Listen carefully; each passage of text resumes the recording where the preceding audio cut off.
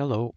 The objective of this tutorial is to explain how to use the warped STL feature of Netfabb simulation to export a geometry that compensates for displacement observed in the simulation with the original geometry.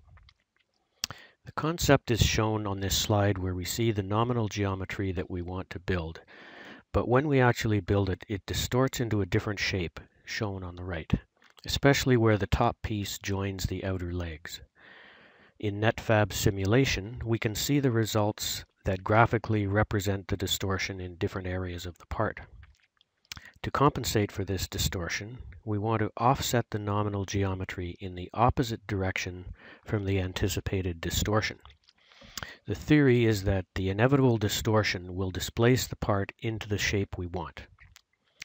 You can see in the compensated geometry print scan that the distortion is much reduced in the area of interest. Through an iterative process of adjusting the amount of compensation and rerunning the simulation, we can generally reduce the distortion even more. In Netfabb simulation, we begin with a completed simulation showing the displacement results. Now we will prepare a compensated part for export. On the Results tab, we click Warped STL. The first field, warpage magnification factor, is our main interest here. If we put a positive value here, such as 5, it would increase the displacement we observed and in the same direction. To compensate for the original displacement, we must use a negative number. Let's pick a high value of minus 4 to make the results more visible.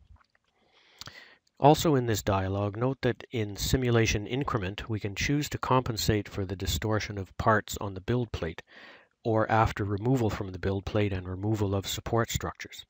Let's leave the default value of parts on the build plate. So we click Export to create the compensated STL file. Note how the Export Warped STL dialog shows you the name of the file and its location.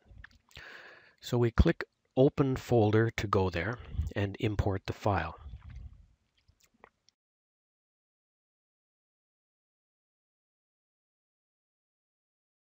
Now, if you move the part around, you can see the compensation applied to extend the geometry in a direction opposite to the expected displacement. In this tutorial, we have explained the intended purpose of distortion compensation. We've shown how to set it up, and we've demonstrated it in action.